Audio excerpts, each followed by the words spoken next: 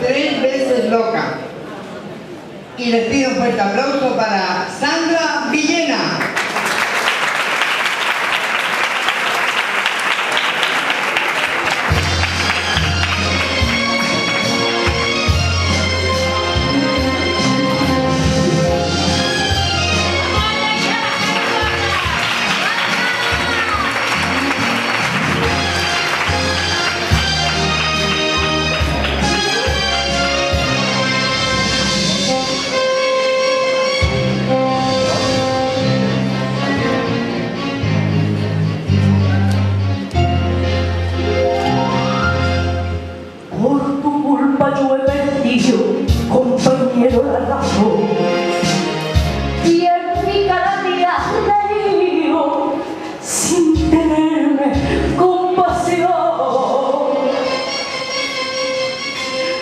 やって